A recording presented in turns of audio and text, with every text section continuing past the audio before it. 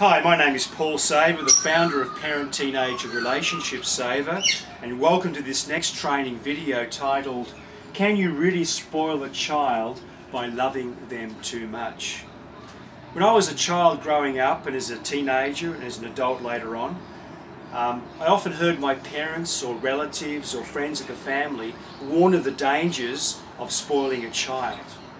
It was inferred that if you uh, give too much attention to a child, they'll end up becoming soft and needy.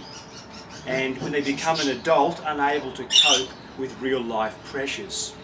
Hence, you have many parents today who subscribe to the view of allowing a child to cry themselves to sleep, or fathers who believe that too much attention will cause, uh, disturb their son's masculinity. But what does the research actually tell us? Well, the research says that you can never love a child too much. Secondly, the best adjusted kids are always the ones who receive the highest levels of parental love. And thirdly, the more love a child receives, the less needy they become as an adult. When we speak of uh, spoiling a child, we're not talking about expressing too much love. So what do we mean by a spoiled child? Well, a spoiled child is usually the consequence of giving a child things in the place of love. Things like leniency, lowered expectations, and material things. In other words, um, a child is adversely affected when a parent fails to set limits when they lower expectations as a way of being nice.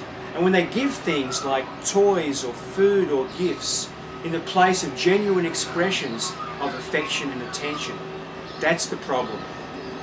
So, can you love a child too much? Can you spoil a child by loving them too much? The research says emphatically and definitively the answer is no.